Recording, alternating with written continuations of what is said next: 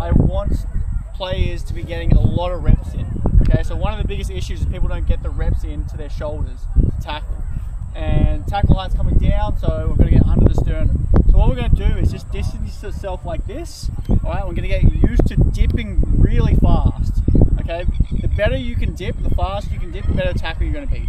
So you're going to dip fast, come in, shoot, clench, pick up, walk a step.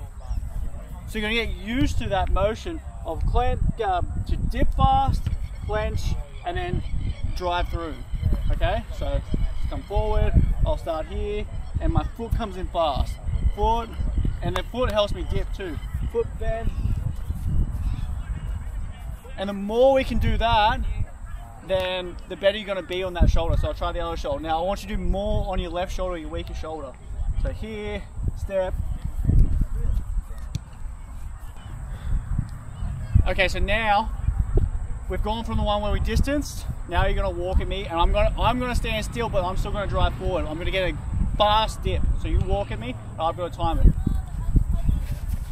Fuck, you're way heavier than him. um, yeah, lean into me a bit because I Yeah, keep yeah. coming forward, otherwise you'll flip back. Yeah. Ready? Go. So it's really fast. It's a really fast split of the feet. I'm staying still and I'm splitting the feet and dipping and driving. And I want you to just lift people up, right? We want to get reps. If you're taking people to the ground, then people are going to get hurt. They're not they're not going to want to do as many reps. That didn't hurt, right? No. Yeah, right, good. Go to the other side. So you walk forward, I dip.